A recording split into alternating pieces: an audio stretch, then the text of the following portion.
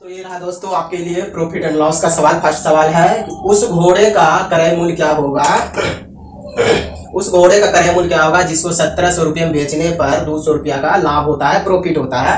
हमको सीपी निकालना है, क्रय मूल्य निकालना है। तो सीपी बराबर एसपी माइनस प्रॉफिट होता है।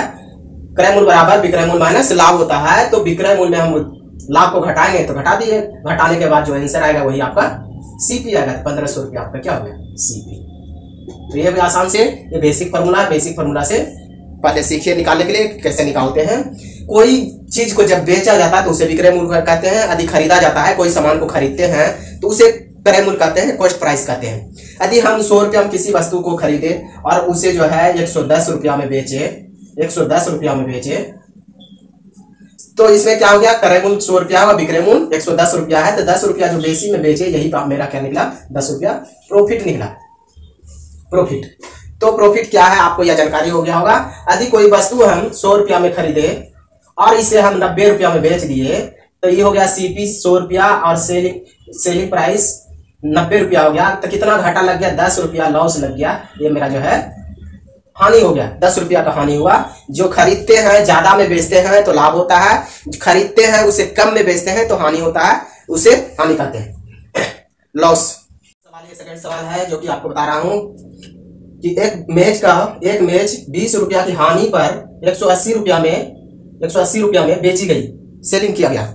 उस मेज का क्रय मूल्य क्या होगा? सीपी क्या होगा? सीपी निकालना तो सीपी बराबर फॉर्मूला क्या होता है? एसपी प्लस लॉस होता है। सीपी बराबर एसपी प्लस लॉस होता है तो क्रय मूल्य बराबर विक्रय मूल्य प्लस लाभ।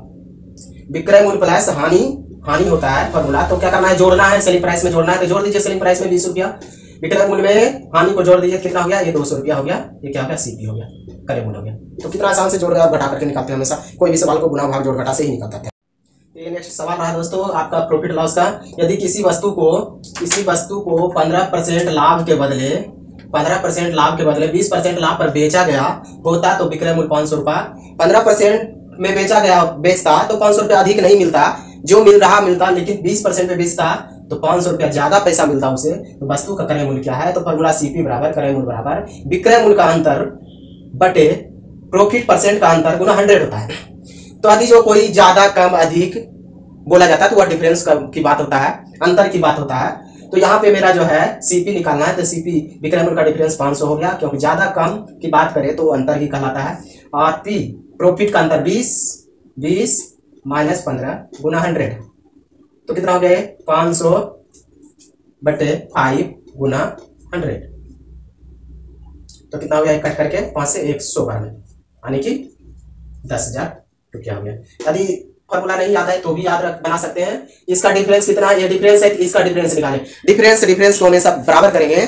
डिफरेंस को बराबर करके निकालेंगे तो भी आंसर पूरेगा। परसेंटेज हमेशा सौ पे सौ को हमेशा जो है सौ परसेंट बराबर होता है करेमूल हमेशा निकलता है। सौ परसेंट पे हमेशा करेमूल निकलता है। तो 20 माइनस पंद्रह हो गया पाँच परसेंट। पाँच परसेंट बराबर कितना अधिक मिलता है? पाँच परसेंट बढ़ता है तो कितना अधिक मिलता है? पाँच सौ रुपया अधिक मिलता है। तो सौ परसेंट पर कितना हो जाएगा? सौ परसेंट बराबर सौ परसेंट बराबर हो जाएगा दस हज़ार रुपया। सीपी कॉस्ट प्राइस तो हाँ सौ परसेंट पे हमेशा क्रयमूल निकाला जाता है क्रयमूल निकलता है तो इसे आप याद रखें और इस तरह से भी आप बना सक, सकते हैं। सेकंड तरीका हो गया बनाने का।